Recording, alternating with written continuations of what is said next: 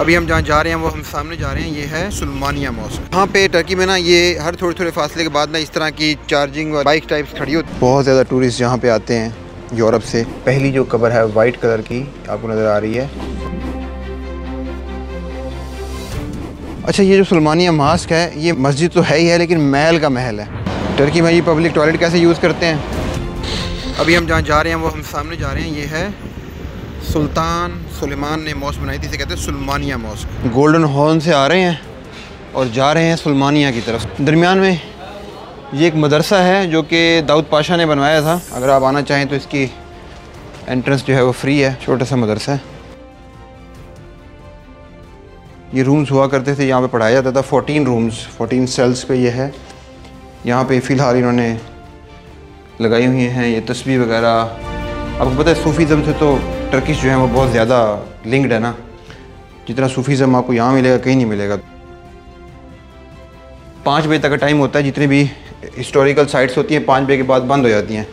तो बेटर है कि इस पर भी वही तस्वीरें पड़ी हुई हैं और किसी पे पढ़ लेते हैं। ऑटोमस के टाइम की हैं। ये एक वही बड़ी इंटरेस्टिंग किस्म की तस्वीर नज़र आ रही है। ये देखें आप।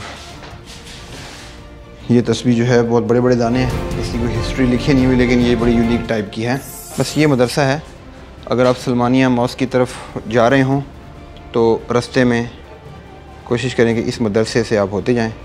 एक हिस्टोरिकल प्लेस है और ये अंदर इसका सारा वो है, जहाँ पे ये बच्चों को पढ़ाया करते थे।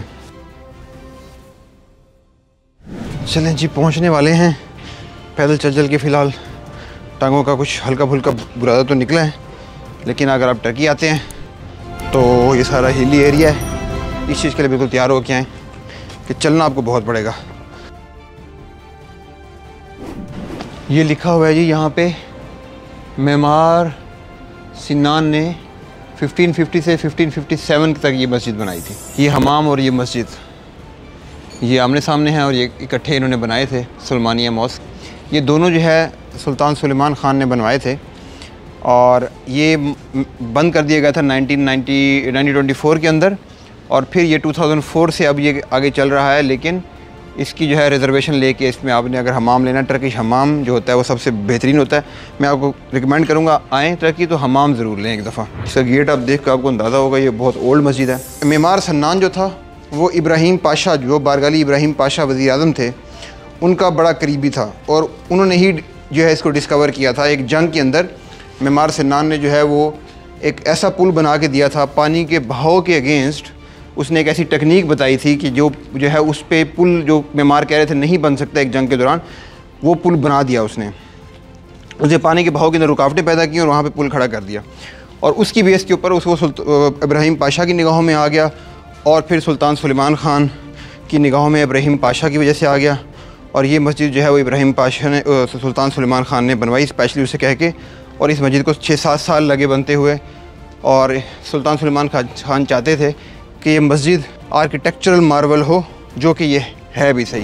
ये जो सेक्शन है, ये अब एक दारुल हदीस बना दिया है, हदीस की यूनिवर्सिटी इसको बना दिया गया है। ये ओल्ड बिल्डिंग के अंदर बनाई हुई है। यहाँ पे शायद कोई मदरसा हुआ करता था। अच्छा ये जो सलमानिया मास्क है, ये मस्जिद तो है ही है, लेकिन महल का महल है। ये इतनी बड़ी मस्जिद है। आप देखें ज़रा, लेफ़्ट साइड के ऊपर, ये सारे बाग हैं यहाँ पे। ये मस्जिद की एक एंट्रेंस है। हम अभी मेन गेट से एंटर हो के आए हैं। और ये मस्जिद की एक और एंट्रेंस है, जो कि हमें मेन मस्जिद की तरफ़ जो है लेके जाएगी। इसको सलमानिया जामे भी कहा जाता है। आप में से सत्तर फ़ीसद ऐसे लोग हैं, जो वीडियोस देख रहे हैं, लेकिन सब्सक्राइब नहीं कर रहे। अगर आपको ये वीडियो पसंद आ रही है तो प्लीज़ सब्सक्राइब ज़रूर कर लें, ताकि नेक्स्ट वीडियोज़ का नोटिफिकेशन आपको मिलता रहे और आप कोई वीडियो मिस ना कर सकें। तो ये देखें जी, आपको सामने मीनार नज़र आ रहे होंगे। सलमानिया मॉस्क जो है, ये बहुत हिस्टोरिकल मॉस्क है, बहुत ही हिस्टोरिकल मॉस्क है। यहाँ पे सुल्तान सुलेमान ख़ान का मकबरा है। ये ग्रेव यार्ड बाकी जो हैं, ये आगा और पाशा और वज़ीर और सिपाही उनके हैं। मैं आपको भी दिखाऊँगा कि ये जो इनके ऊपर कॉन्टेशंस बनी हुई हैं, ये जो डिफरेंट तरह के निशानात बने हुए हैं, इनका क्या मतलब है? इस तरफ़ हम आते हैं। लेकिन उससे पहले जो है, ये जो मेरे राइट साइड पे आपको मकबरा नज़र आ रहा है, ये सुल्तान सुलेमान ख़ान का मकबरा है। इसके अंदर तीन कब्रें हैं, ये बंद है, ये सबसे ताकतवर बादशाह, यूँ समझ लें, गुज़रा है। सबसे ज़्यादा जो लंबी, बड़ी रियासत थी, वो सुल्तान सलमान ख़ान के टाइम पर थी। उसके बाद जो सामने आपको नज़र आ रहा है, मकबरा, ये हुरम सुल्तान का है। हुरम सुल्तान जो थी वो उसकी बड़ी इंटरेस्टिंग हिस्ट्री है। आ, हम कवर करेंगे तोप कापी वाले पैलेस के महल के अंदर। हुरम सुल्तान जो है कनीज़ में बन के आई थी लेकिन सबसे ताकतवर मलका बनी। और ये ऑटोमस में ही था। नॉर्मली जितने भी किंग्स होते थे वो अपनी ब्लड फे रिलेशंस के अंदर ही रखते थे मलका। लेकिन या यहाँ पे क्या होता था उनका ख़ानदान से बाहर का मलका नहीं बन सकती थी। लेकिन यहाँ पे ये रूसी कनीज़ थी जो पकड़ के आई फिर सलमान सलमान ख़ान को उससे प्यार हुआ। और उसके बाद जो है इनके बच्चे हुए पाँच पाँच बच्चे थे। सबसे पावरफुल मलका जो है ऑटोमन्स की ये बन के आई। ये हुरम सुल्तान का मकबरा है यहाँ पे। इसमें तीन कब्रें हैं, जो फ़र्स्ट कबर है, दरमियान वाली कबर है, जिसके ऊपर आपको वाइट कलर का नज़र आ रहा है। टोपी सी ये हुरम सुल्तान की है। लेफ़्ट साइड पर जो है, सुल्तान सुलेमान की बहन हानम सुल्तान की कबर है। और जो राइट साइड वाली है, ये महमद, जो बेटा था, सुल्तान सुलेमान का प्रिंस था। उसकी कबर है।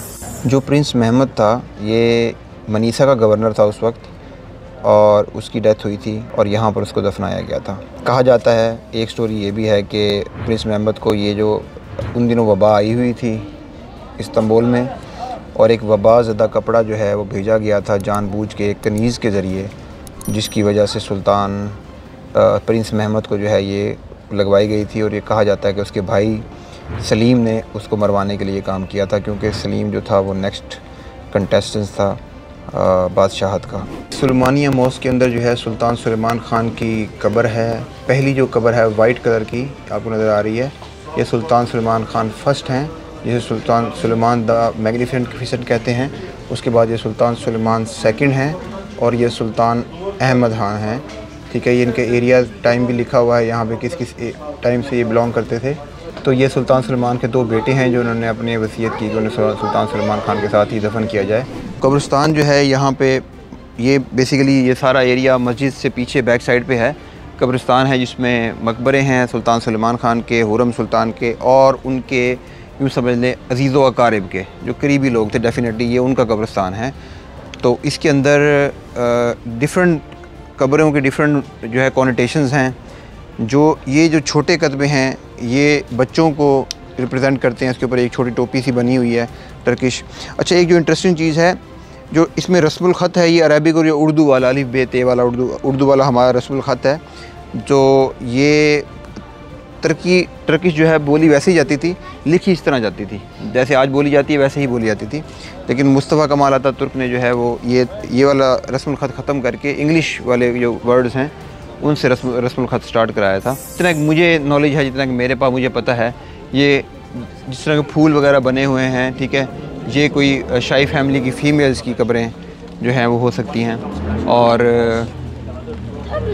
ये भी देखें जो फूल और फूल और जो इस तरह के इस तरह के डिज़ाइन हैं ये जो है वो किसी की फ़ीमेल की कब्र है इस पर लिखा हुआ कुछ नहीं है किसी का नाम सिर्फ़ जो जो है ना हम नोटेशन से पहचान सकते हैं जो बड़ी कब्रें हैं जिनके ऊपर इस तरह की ये टोपियाँ बनी हुई हैं, ये किसी जर्नैल जो है या किसी फ़ौजी बड़े लीडर की या किसी एजाज़ वाले की कब्र है, जो सामने पटका सा बना हुआ है, वो देखें।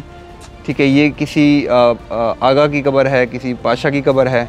अब मस्जिद की तरफ़ चलते हैं, जो कि हमारे लेफ़्ट साइड पे है।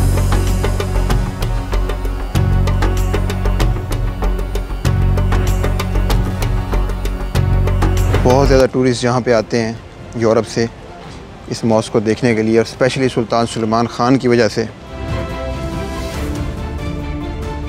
यहाँ से जो है फिर एंट्रेंस है मस्जिद की, मस्जिद का सहन है। सन्नान जो बीमार था, उसने बनाई थी, और इसके बारे में कहा ऐसे जाता है कि इसकी छत के अंदर जो है उसने घड़े रखवाए थे, उल्टे काट के, जिसकी वजह से ना आवाज़ जो है वो हल्के से भी बोलें तो मस्जिद के चारों तरफ़ जाती थी आवाज़ उसकी। अंदर से देखते हैं।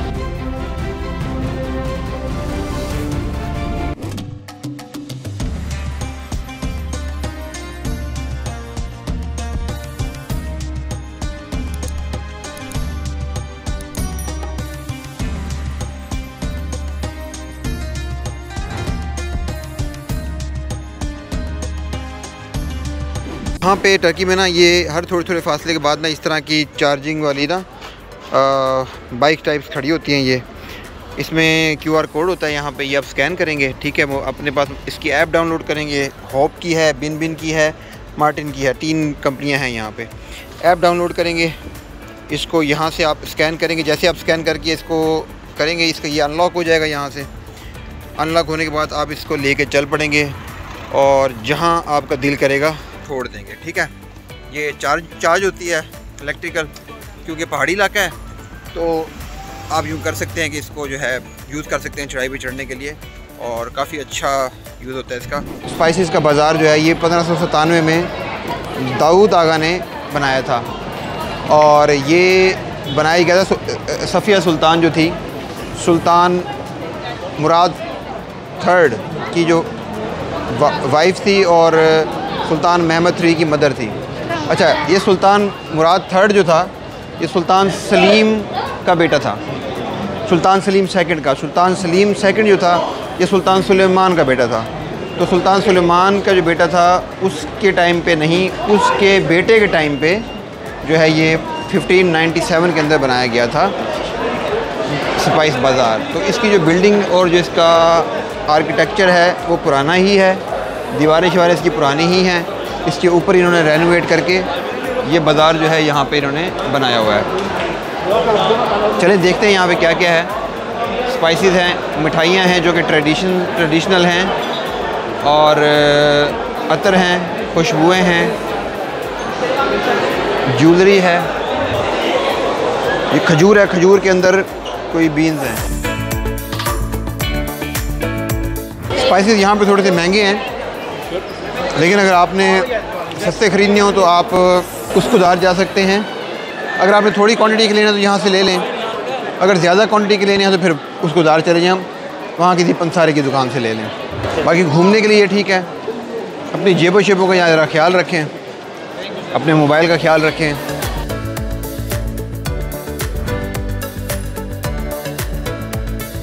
इन्हें बोला जाता है ट्रकिश कैंडीज़ ये डिफरेंट टाइप की ट्रकिश कैंडीज़ हैं। कादी कोय में एक जगह है बैठने की, इसका नाम है मोदा। एशियन साइड पे है ये टर्की की। यहाँ पे लोग आते हैं बैठ के इवनिंग में इंजॉय करने के लिए सी साइड पे टाइम स्पेंड करने के लिए सुकून होने के लिए। बहुत पीसफुल जगह है, मोदा जो है। टर्की में ये पब्लिक टॉयलेट कैसे यूज़ करते हैं? टॉयलेट में एंट्री के लिए दो ऑप्शन हैं। या तो आप इस्तंबुल कार्ड यूज़ कर लें, या आप वन लीरा जो है इसके अंदर डाल दें। तो ये सी गवाच गई थी फिर काराकोई की लास्ट मिल गई है काराकोई से मैं पैदल जा सकता हूँ अपने होटल तो ये last I think second last है काराकोई की जो क्रूज़ है शिप है ऊपर जाके बैठेंगे ठंडी ठंडी हवा में पूरी शिप ही खाली है इस उत्ते कितने जाना एक मिनट ये बाहर निकला है हम। ये पीछे का साइड है। इस साइड पे तो मैं नहीं जाऊँगा। आगे की साइड बैठ के व्यू तो एंजॉय करें। इतने जलील होके पहुँचे हैं। और अभी आई होप कि मैं सही बस में हूँ। बस नहीं मेन सही शिप में हूँ।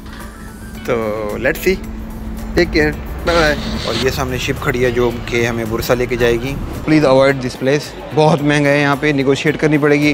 तो मेरे पीछे आपको मॉस नज़र आ रही है ना? ये ग्रैंड बाज़ार की बिल्कुल बैक साइड पे है। तो अंदर चलते हैं। उस्मान गाजी के मज़ार के ऊपर। मेरी कोशिश है कि मैं आप लोगों के लिए हिस्ट्री टेक्नोलॉजी ज़्यारात करंट अफेयर और ट्रैवल पर वीडियो बनाता रहूँ। अगर आपको ये वीडियो पसंद आई है और आप इस तरह की मज़ीद वीडियोज़ देखना चाहते हैं तो मेरे चैनल को सब्सक्राइब कर लें और बेलाइकन को दबा दें।